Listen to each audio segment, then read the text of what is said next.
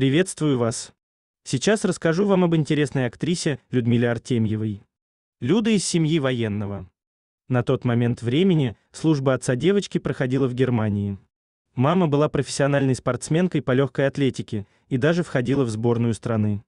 С ранних лет внимательные родители увидели у наследницы недюжинные артистические способности. А потому еще будучи школьницей, девочка начала посещать театральный кружок. А после окончания школы Людмила поступила в музыкальное училище.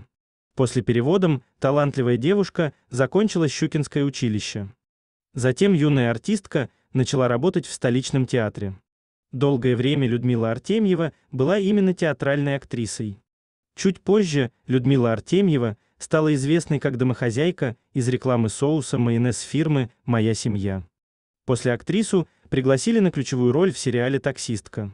Этот образ простой и непосредственной женщины, которая легко справляется со всеми перипетиями судьбы, очень полюбился телезрителям. А потому вышла аж четвертого сезона комедийного телесериала. После были юмористические сериалы «Кто в доме хозяин», «Сватьи» и «Игрушки». Но только на комедиях амплуа Людмилы Артемьевой не заканчивается. Есть в фильмографии артистки и драматические роли. Например, в кинофильме «Жаркий лед» Людмила Артемьева сыграла роль мамы-спортсменки. Ну и, конечно, наибольшую популярность Людмиле Артемьевой принесло участие в съемках сериала «Сваты». Там актриса сыграла образ временами высокомерной, жеманной, но в целом очень душевной бабушки и сватьи. А из недавних ролей Людмилы Артемьевой нельзя не вспомнить замечательные киноленты «Баба Яга спасает мир», «Артек», «Большое путешествие» и другие. Личная жизнь Людмилы Артемьевой начала складываться еще в студенческие годы.